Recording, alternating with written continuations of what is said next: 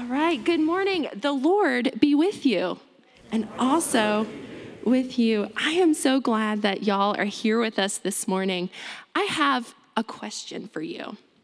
So, every time we gather for the time with Younger Church, we pray a prayer. And that prayer, it has a name. Does anybody know the name of the prayer that we pray? What is it, Poppy? The Lord's Prayer? That's exactly right. The Lord's Prayer. And who who taught us the Lord's Prayer? In the Bible, who do we read taught us the Lord's Prayer? Who was it, Sloan? Jesus.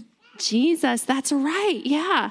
Um, so we can pray in all kinds of different ways. We can pray in big, beautiful words, or we can pray in small, short words. Or did you know you can pray without using words at all? Yeah. We can pray while we draw things, or we can, yeah, while you're silent. That's exactly right. In sign language, yeah, you can pray with sign language. You can pray while you dance. You can pray while you run. You can pray while you sing. Yeah.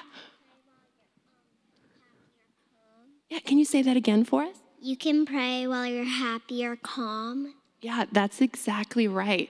There are all kinds of different ways to pray. And what's amazing is that however we pray, God who loves us hears us. God hears our prayers, even if we don't use any words. Well, this morning, would you join me in prayer? Let's join together in our Lord's Prayer. Our Father, who art in heaven, hallowed be thy name. Thy kingdom come, thy will be done, on earth as it is in heaven. Give us this day our daily bread, and forgive us our debts as we forgive our debtors.